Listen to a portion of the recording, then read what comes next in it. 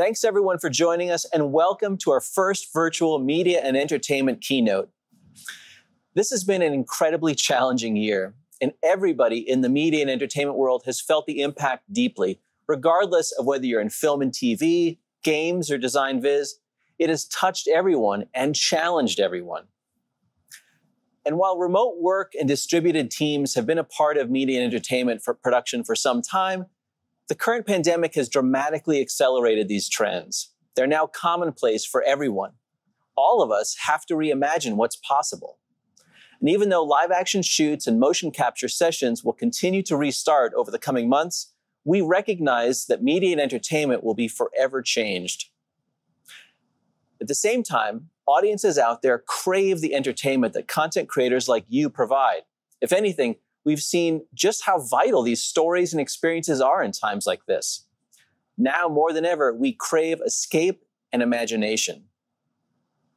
Today, I'll share with you the trends we see unfolding in these crazy times and where we might go from here. And I'm not alone. Later, my colleague, Sarah Hodges, Associate VP of Product, will join us to talk about the products and initiatives we're working on, bringing the production and the creative side closer together to help you achieve the new possible. But let's start with the here and now.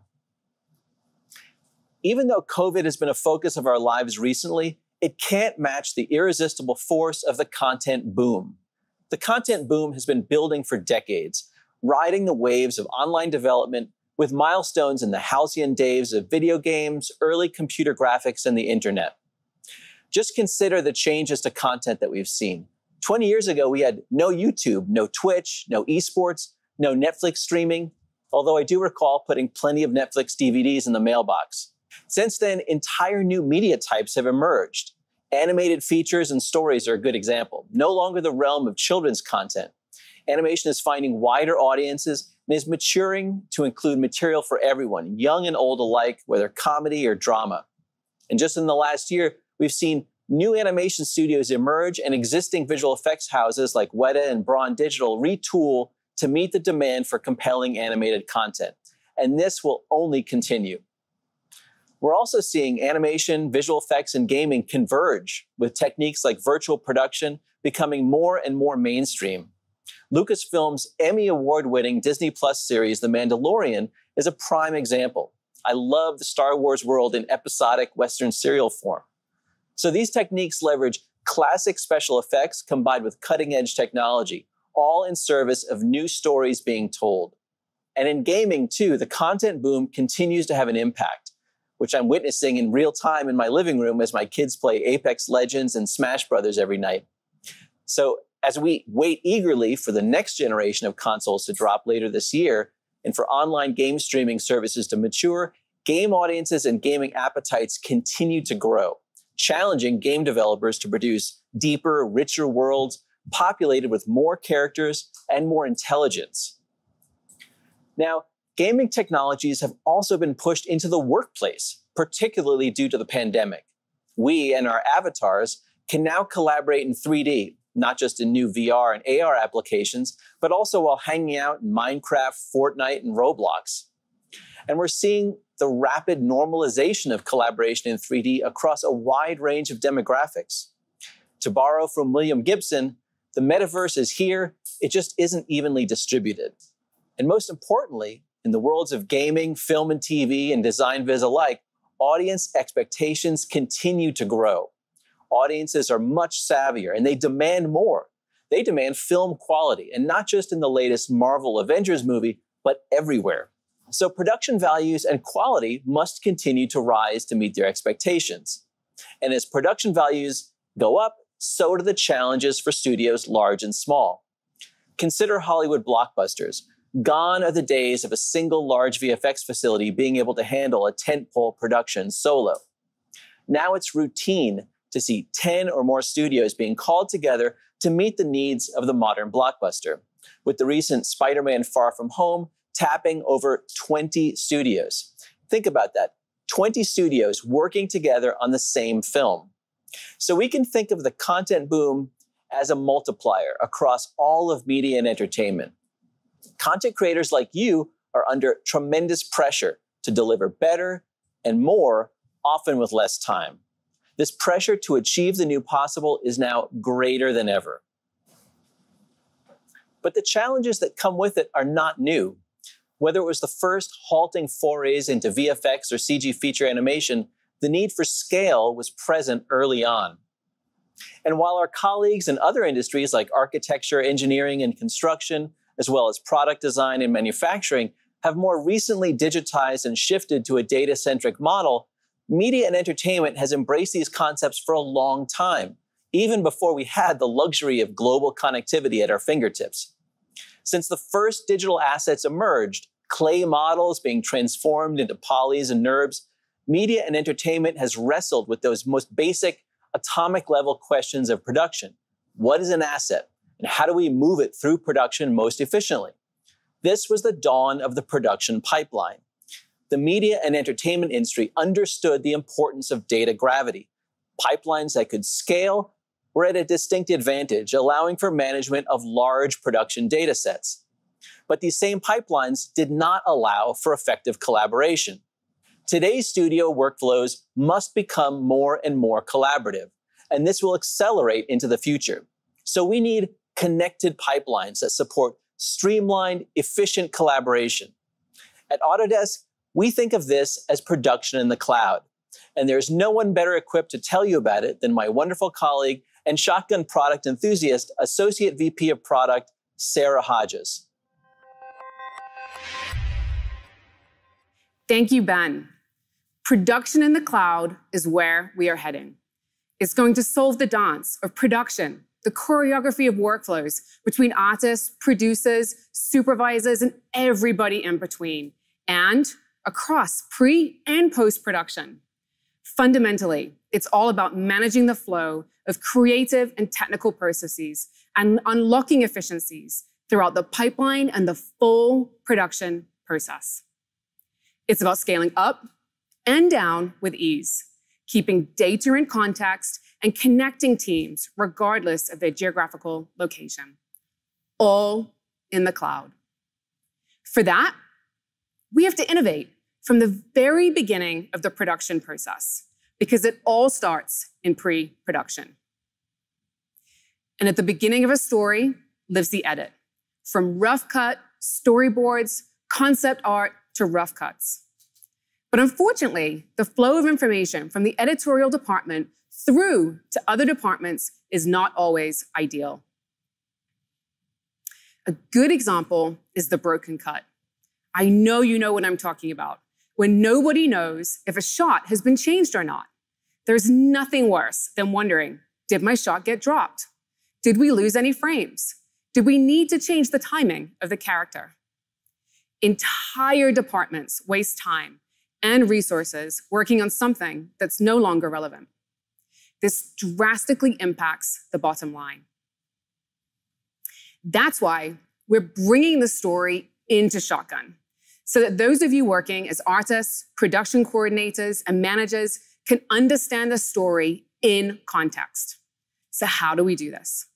By leveraging open standards to bring the true context of the story from the moment dailies are being pulled together through to the delivery of the final product.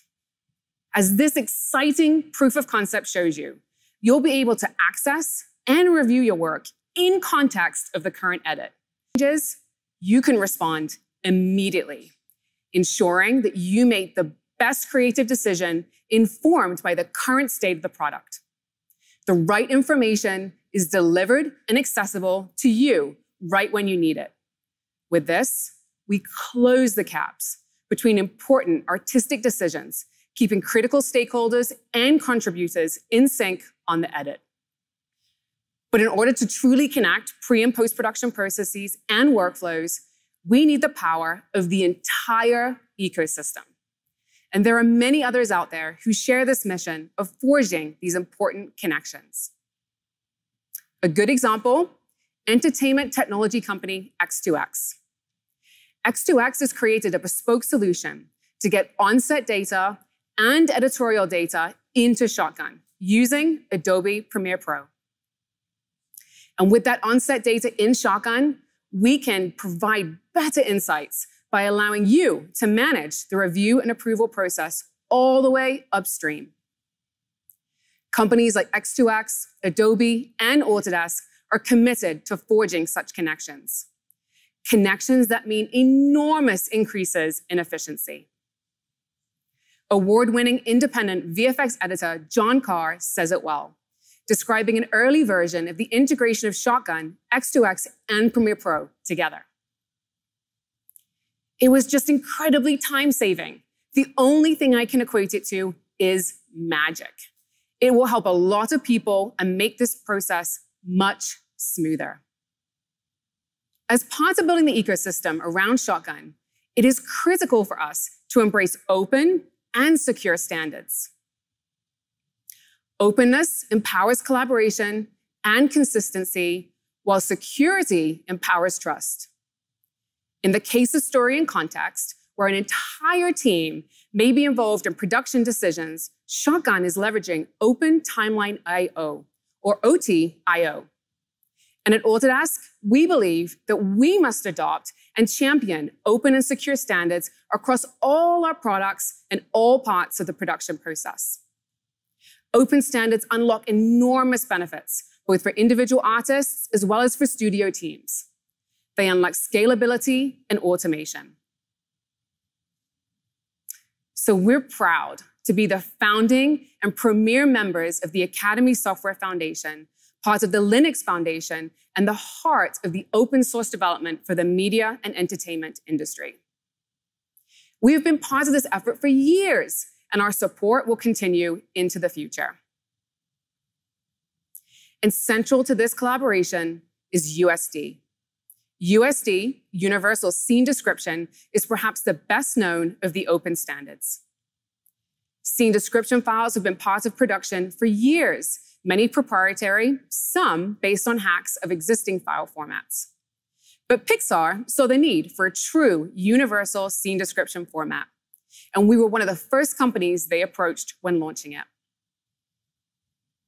So we've spent the last several years working closely with them to develop our Maya USD integration, particularly with all of you pipeline TDs, technical artists in mind. Integrating Maya with USD is something we wanted to get right, and we have worked diligently to do so. We made significant changes to Maya's underlying architecture, providing a robust data agnostic foundation that makes it easier to integrate new standards and optimize performance going forward. Maya's addition of animation caching, started with Maya 2019, is one of the most recent benefits of this update, resulting in stunning performance and productivity gains. And USD brings many more benefits to Maya. Consider some of the massive scene files that artists handle on a routine basis. Let's see it in action through one of my daughter's favorite animated Pixar characters. A nine gigabyte scene, like this one from Finding Dory, would have taken a lot longer to open in the past. Now, it opens in three seconds. And here too, we can see incredibly fast load times on a huge scene where we use Bifrost to scatter assets. But what this shows you is yet another enormous benefit of the USD integration, native USD editing. You can now edit and manage complex scene lines and files easily. And that's our goal, to make it feel easy. Working with USD files should feel comfortable allowing you to manipulate and edit USD natively and stay in the flow. You can be more productive, creating more compelling imagery, all enabled by USD. This Maya USD integration is the product of a collaborative development effort with some of the top studios in the industry.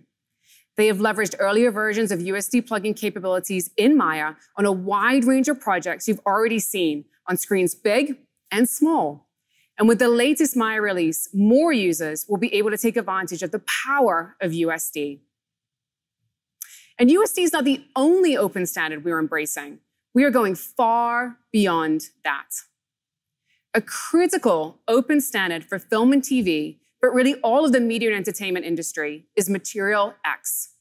Here, we're working with industry leaders like Industrial Light and Magic and Adobe Substance to build robust, reliable material, and look dev interoperability across our digital content creation tools and renderers.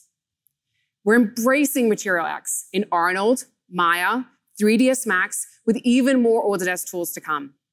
And open standards are not just about film and TV, but they are also about design visualization and e-commerce.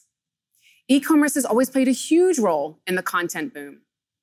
However, with COVID, it's experiencing an even greater surge in momentum. As we all know, retail is now very much online, and online shopping has become a truly interactive experience, relying more and more on rich 3D content.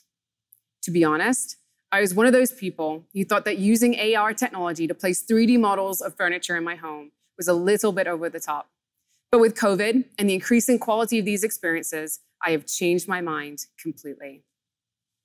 Now, the e commerce industry is looking towards proven media and entertainment technology for inspiration, with moving assets smoothly through a content pipeline to meet these new demands. Modelers, look dev artists, and animators listening in today, you'll be excited to hear that we are working closely with the Khronos 3D, Commerce, and 3D Formats working groups, embracing their GLTF standard. By adopting their modern publishing standards in an upcoming beta release, we will enable you to meet the stringent visual demands of photorealistic real-time rendering with a best-in-class authoring toolset, as well as a viewport that inspires confidence. Because we know you live in the viewport. And we want you to move through your projects with fewer iterations and more confidence in the preview. The results will be final assets that greatly improve consumer experience. Whether GLTF or USDZ, these standards power web and AR experiences that bring e-commerce to the next level. All of this will help retail platforms like IKEA or Wayfair to consume and display assets in a reliable and repeatable manner. Because they have to create 3D assets for a huge range of different use cases. They have to digitize and process thousands of 3D assets often with hundreds of variations in SKUs, makes, models, and colors. So more than ever, they need to be able to coordinate and customize their processes and workflows and scale their production. So besides embracing GLTF, we've also been working hard on bringing 3ds Max to Forge. That's Autodesk's cloud-based developer platform we wanted to connect it and customize processes that until now have been mostly siloed.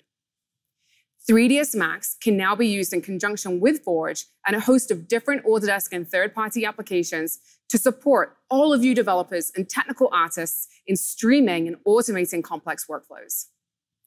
This has been difficult to manage manually, but it's ideal for the cloud.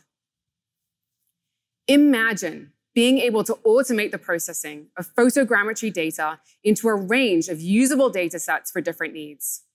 Or being able to ingest and retopologize geometry data for a range of use cases on the fly, made possible in an upcoming release. Or you can automatically process and bake texture data for entire asset libraries.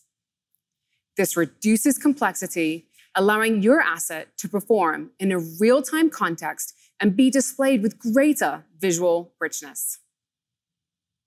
So 3ds Max on Forge enables powerful ways to repurpose assets for a vast array of uses, allowing you to process thousands of variations concurrently and achieve outcomes with best-in-class quality.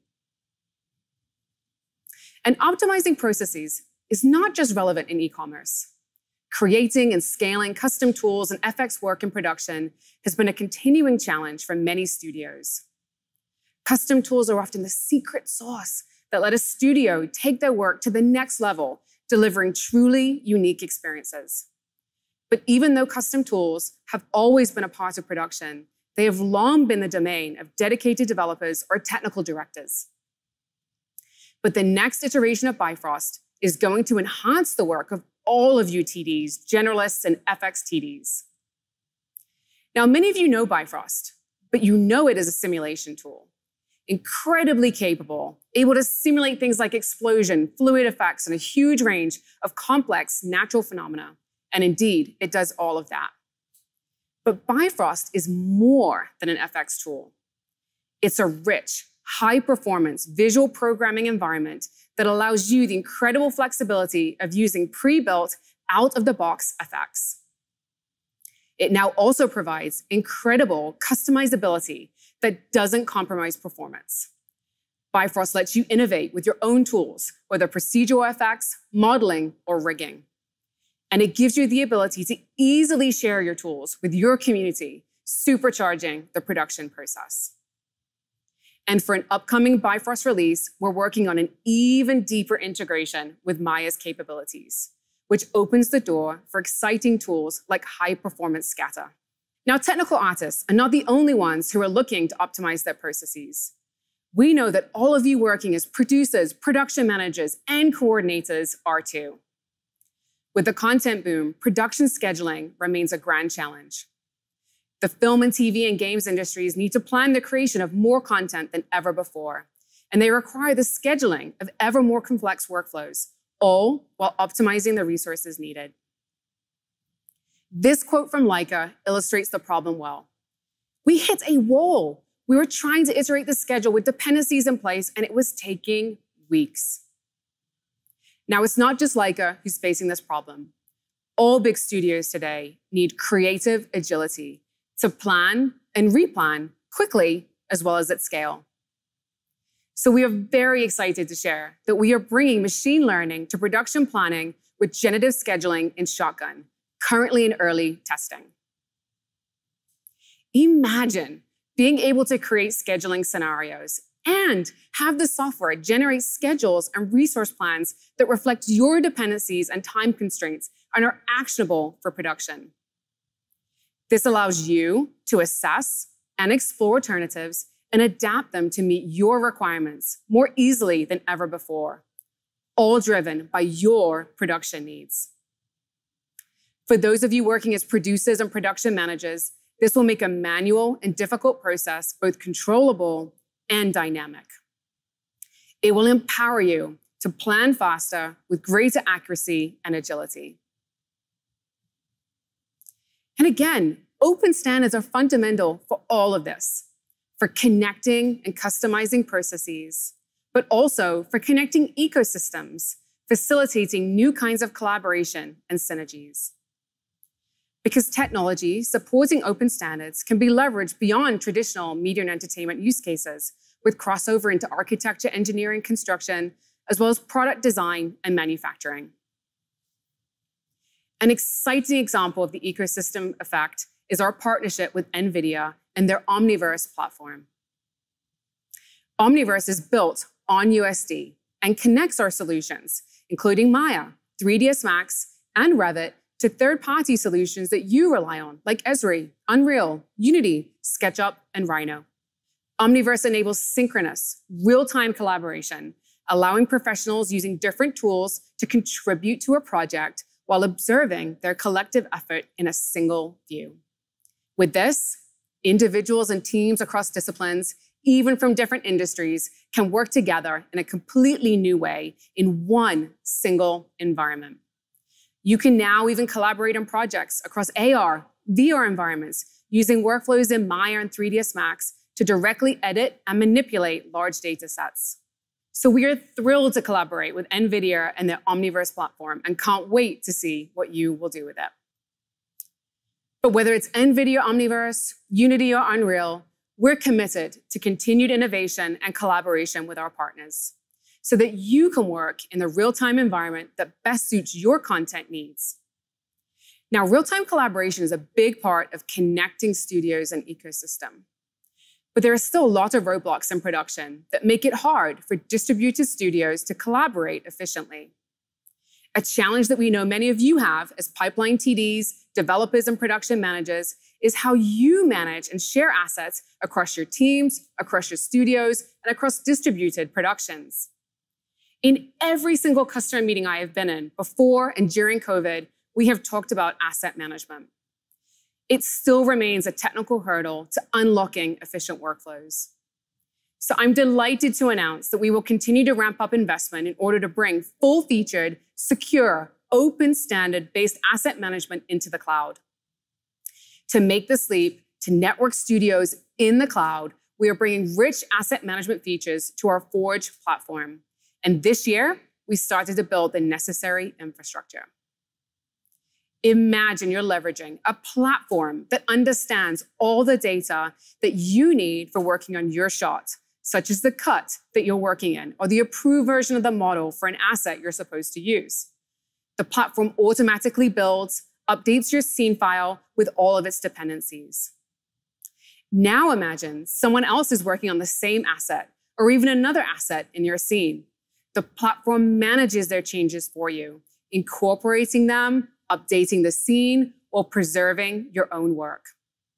And by the time you're ready to share your work, the platform helps inspect it. It makes sure the right versions of all the assets are included, that your pipeline quality checks are done before sharing, and it notifies everybody further downstream. This is what it means to be truly connected. We are calling this rich feature set asset lifecycle management. For now, this is a proof of concept, but we are working hard on getting it into the hands of our beta testers. So all of these efforts get us closer to where we want to be. We want to help you manage and coordinate your processes, customize and adapt them to meet your needs, and forge meaningful connections between teams, studios, and ecosystems. We want to free your time to work on those amazing stories that we all crave particularly in times like this. Now, we will bring this story to life through the eyes of one of our customers, a company that's at the forefront of creating amazing stories by empowering their full team of artists, producers, and supervisors to work together using much of what I have shared with you today. You've already seen a glimpse of them in Andrew's keynote. The company I am talking about is Laika. And today, we have their VFX supervisor, Steve Emerson, here with us in conversation with Ben. So, Ben, back over to you.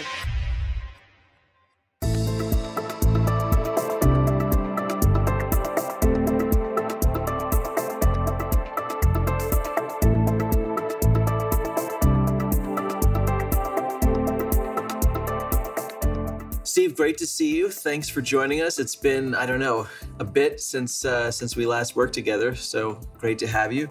Um, as a visual effects supervisor at Laika, um, I wanted to start out with a little bit of your backstory, you know, and um, you know what what got you to Portland, Oregon.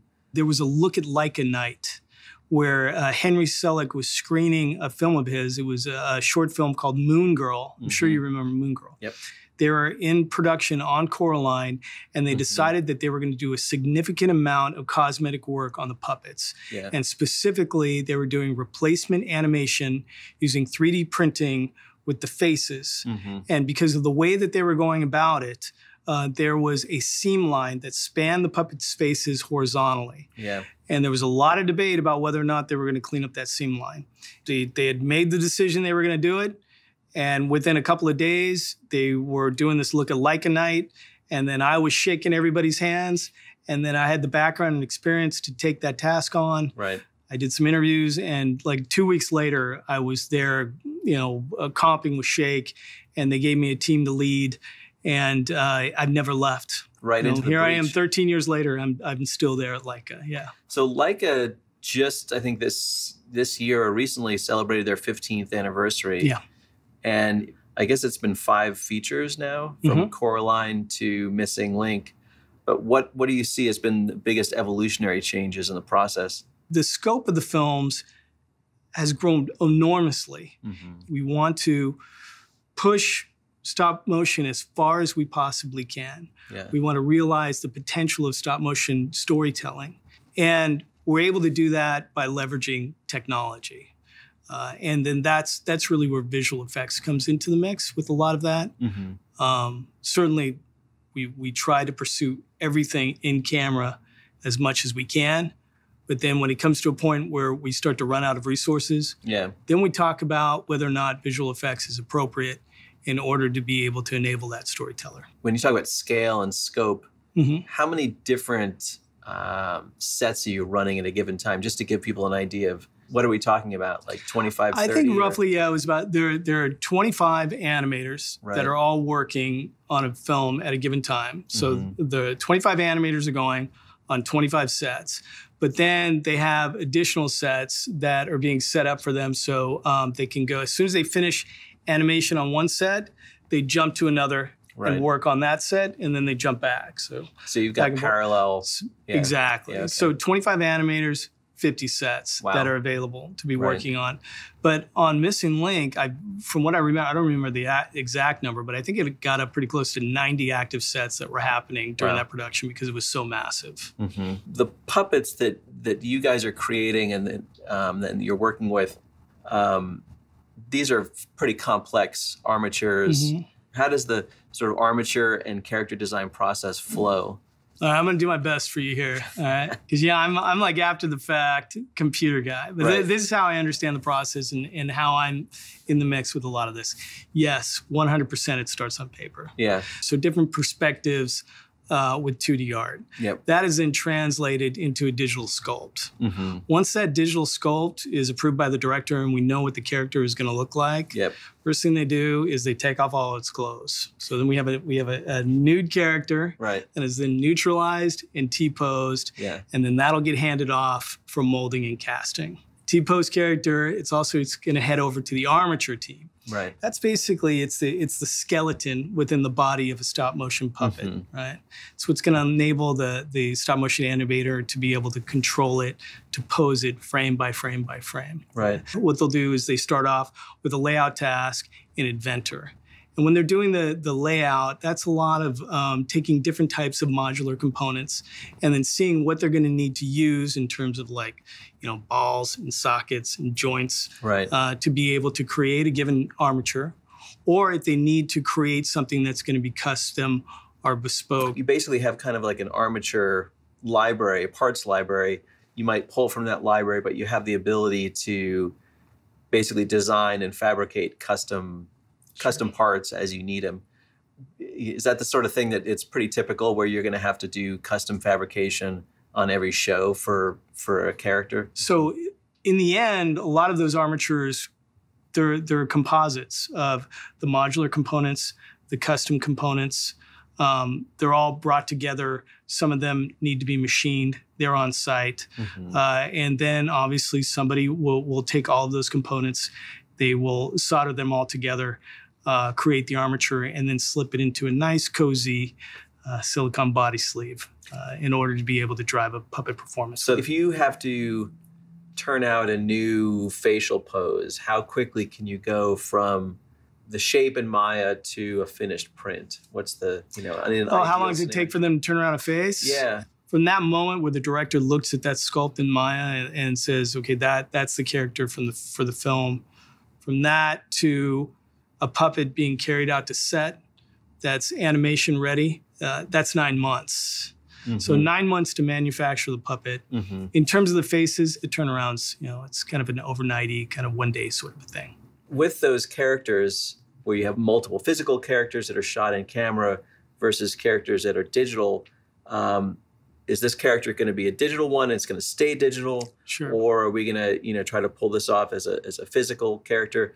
Um, and then you know I guess the related question is um, how do you you know how do you finesse the look to sell the entire image with the with you know characters that are basically you know right up against each other and Sure. digital physical Over the past 15 years, we have we've developed a set of rules. Mm. Uh, and uh, for instance, if it is a lead character in the film, uh, if it's a speaking character, uh, th- those are, are almost always hand animated stop motion puppets. Mhm. If another character is coming into physical contact with a stop motion puppet, uh, directly is the focus of a shot, is touching that puppet, Mhm. that will also be a hand animated stop motion puppet. The environment, the direct environment around the stop motion puppets yeah and those performances are physical, real world environments. Once we move beyond the immediate environment, the, the hero performance, the focus of the shot, and anything that is affecting or touching that, that character, Yeah. then it's all bets are off. Mm-hmm. We want to get as much in camera as we possibly can. Yeah. And we will always strive to do that to the point where we start to run out of resources to the point where it's going to affect a storyteller's vision. And that's where I come into the discussion. And I say, okay, this is what we can provide, and this is what we're going to need to do that. Those, those are pretty much the rules. If we get it in camera, we will. Hero performances, always puppets. If there is immediate direct contact, those are going to be hand animated puppets as well. So it's a different type of production management process than a traditional live action visual effects picture Sure. or or certainly like a standard live action shoot. What are some of the um, you know production management challenges that you have managing something like this where you've got you know 50 stages plus running sure. and a team of visual effects artists and that seems scary just thinking about it. Sure. So you're getting at bottlenecks, pretty Yeah. much. Here's what you're talking. All right. So the first and most obvious is animation. Uh, we're Mhm. doing it one frame at a time. And the, these uh, stop motion animators, they work at a clip of roughly three and a half to five, maybe six seconds a day. Easiest way for me to think about it is we're getting a second a day out of each of those animators. Okay. That's a big bottleneck. Everything's got to be built. And when you build it, there's only one. And when it's just, if there's one of whatever the heck it is, if it's a puppet or if it's an environment, then there's one camera and there's one animator that's got those resources. hmm They're being left alone for weeks in order to be able to get this stuff done. So Right. that's a big one. And then certainly when you compare stop motion versus, you know, a CG animated project, or even live action when you're talking about helping to, to create photorealistic environments. Um, if you have a puppet, you got one puppet. You want two, you're gonna have to wait another four months. You want three, okay, then that's eight months out, unless you're gonna staff up and bring more people on. hmm When you're talking about digital assets for a CG production, or if they're going to complement a live action visual effects production, that's Control C, Control V. You can you can you can create mul- duplicates of those that can go out to other anima- Right. animators and other shot artists. You don't have to actually build those. Same goes for the environments. So really, it's it's it's a huge undertaking in terms of production management hmm because every last thing needs to be built. And beyond that, if you want to duplicate it, it's going to take weeks, months. And so you're running pretty much the the whole production process through Shotgun as your your main production management tool. We adopted Shotgun after Coraline, and honestly, I don't know how we lived without it. Then. like in the Coraline days, there were three by five cards on cork boards. There was Microsoft Project. There were Excel spreadsheets. There were there were there were schedules. There was information everywhere. And um, Shotgun, we adopted it moving into Paranorman, and it it immediately made everything much simpler in terms of You all were organization early adopters for sure. Yeah, that was 2010. I think we Mhm. brought it in right about then. Yeah, so it really, it certainly transformed everything for us, especially in visual effects. And now it's it's certainly being used studio wide.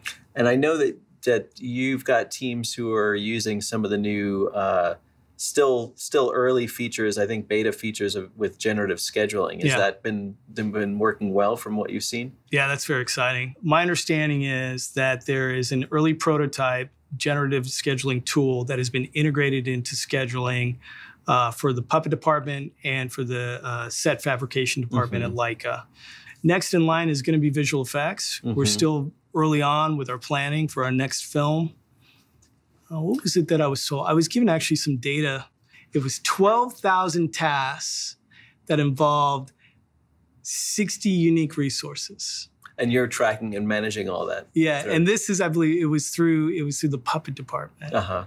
and they were able to using generative scheduling that they were able to level that schedule. It was like within a matter of minutes. Wow. So, to me, yeah, that's I I I can't wait to to start to have a play and see what our production management team can From do. what I've seen, it's pretty awesome. And I think it's Yeah. the sort of thing that you know will save uh, person years of producer and production management time. Yeah, Hopefully. yeah, Um, yeah. And with efficiency, it becomes efficiency becomes opportunity. shifting gears a little bit, um, I know that there's been, um, I think, some some R and D efforts, and maybe it's already in production on with using uh, machine learning and AI as a way of, of doing rotoscoping, a roto process. Um, can you tell me a little bit a little bit about how that's working? Sure. So obviously in visual effects community, AI, machine learning, that's been like a big buzzword here for the past couple of years. We always need mattes mm-hmm. and we hate green screens. And to be able to to rotoscope um, uh, entire silhouettes of characters. Mm-hmm. I mean, that's something we're certainly going to try and pursue. Yeah. We use some pretty crazy rigging systems in order to be able to get these really subtle and nuanced performances out of these puppets, to be able to get a machine to recognize those rigs mm-hmm. so we can hopefully paint them out in post production and create mattes for those very efficiently. Right, right. I think that's where we're headed is, is trying to, to uh, eliminate those types of tasks, which, by the way, artists are crazy about doing. Yep. that will enable them to be able to say, okay, the machine's going to take care of it. It's gone. Now you just be an artist, right, and make this into something really, really cool. Focus on the stuff that, that they're going to be excited about. Exactly. And, yeah. yeah, yeah. We've talked a little bit about some of the new tech that you guys are working on. We talked a little bit about uh, you know AR before the shoot. That seems like something that'd be a, a kind of a natural for on set, you know, assist that kind of thing.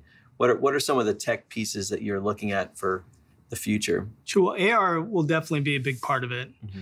Uh, if you think about stop motion, there's never enough puppets. There's never enough sets. Uh, but we have a, a, finite timeline in order to get a, a film done. And again, animation ends up being a bottleneck. So oftentimes we have to shoot performances on green screens. Mm-hmm. And those performances are being lined up in front of a camera, and a director is being asked to sign off on a given shot, and all they're seeing is a puppet and green screen. So what they'll end up doing oftentimes is they'll take uh, foam core cutouts um, of what would be like mm-hmm. a, an approximation of that environment, just to be able to frame something up so a director can feel comfortable buying off on it. But it's not precise, and and it's in a way it's it's it's somewhat false in the reality of those cutouts. Um, AR for us, being able to have a, a digital representation of those sets mm-hmm. and to be able to go out onto set, line up a puppet, and then remove those green screens on set and show a director what that environment really looks like, what that shot composition will be. Mm-hmm would be a game changer. Mm. And it's it's so obvious for us. And so I think it's inevitable that we're definitely going to be using a lot of that on future productions and certainly on the next one that we're getting ready to get started on. Mm-hmm. The other one for me that I think I'm really interested in, Ben, is is just it's I'm excited about real-time rendering. Um, I'm ex- I'm excited because uh, having like done this and you yourself like we've done this for a long time and we know that when you're doing shot work and you're making films those shots, they they they can always be better, right? Mm. You always yep. want to make it better.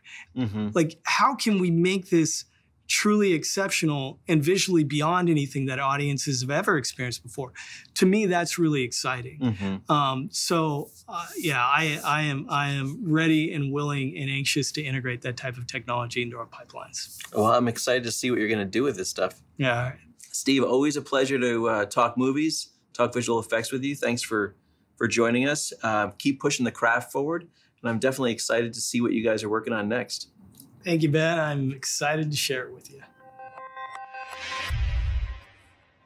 We're very proud to have such a long-standing relationship with studios like Laika, and not just Laika, but all of the people using our technology. Our technology has been part of the media and entertainment industry for a long time it's represented in every major VFX and animated feature going back to the 1980s. This industry is critically important to Autodesk, and we want to help it navigate the demands and opportunities of the coming decades as well.